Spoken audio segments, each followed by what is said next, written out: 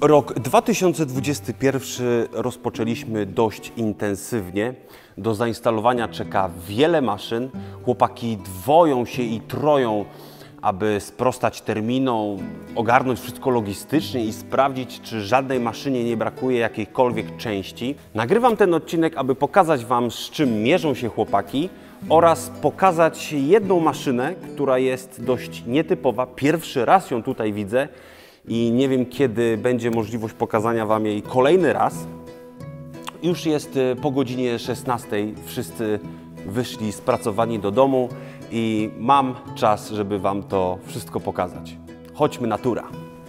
Przy wejściu widzicie pierwszą wannę. Nie wiem, do której to jest maszyny, czy to jest do Maxiema, czy może Globala. Y, Tutaj zaraz znajduje się druga wanna.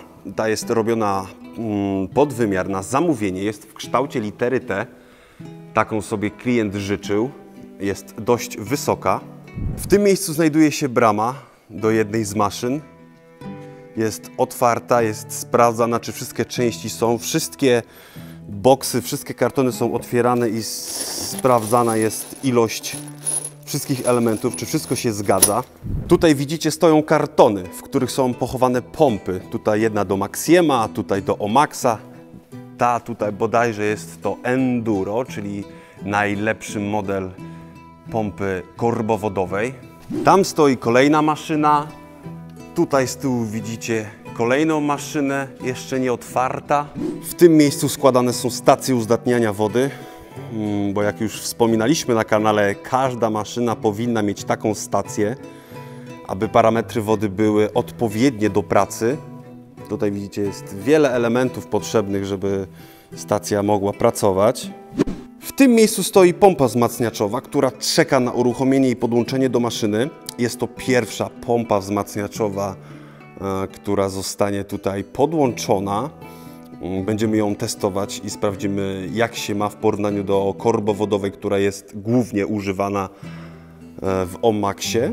Oprócz sytuacji z maszynami, chłopaki mają też inne zadania. Tutaj na Omaxie, na Rotary Axis jest zamontowana sprężyna, która ma być przecięta, aby sprawdzić, czy można tutaj tą powierzchnię wygładzić. Wiecie, to jest taka sprężyna samochodowa, która wchodzi do kielicha i tutaj musi mieć powierzchnię płaską. I to też pewnie pojawi się na jednym z filmów na naszym kanale, e, pokazując, czy jest to możliwe. A oto maszyna, którą chciałem Wam pokazać. Jest to Micromax. Zobaczcie, jak ona wygląda w porównaniu do tamtych maszyn. Jest w pełni zabudowana. Taki klocek, no nie wiem, 2 na 2 metry. Fajne jest to, że można to otworzyć i dopiero w środku ukaże się nam głowica tnąca i cała reszta. Nie wiem dokładnie, jakie są wymiary stołu roboczego, ale na pewno większe od e, tej naszej najmniejszej wycinarki, czyli Protomaxa. Fajna maszyna. Do tej maszyny jest też wiele pudeł. Tutaj jedna, tutaj drugie pudło. To trzecie pewnie też należy do Micro Maxa. Więc trzeba otworzyć każde pudło i zobaczyć, czy są wszystkie potrzebne elementy, aby maszyna mogła działać. Z takich smaczków, co jeszcze pojawią się na kanale, czeka projekt przecięcia kuli do kręgli. Jestem bardzo ciekaw, co kryje wnętrze, e, jak maszyna sobie poradzi, bo jest to dosyć gruby materiał, więc y, dolna część nie wiadomo, jak będzie wyglądała, czy będzie poszarpana, czy nie.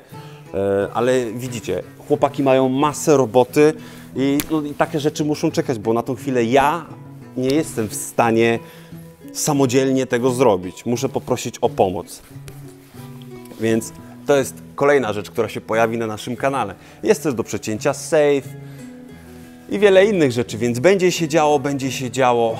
E, Zostańcie razem z nami.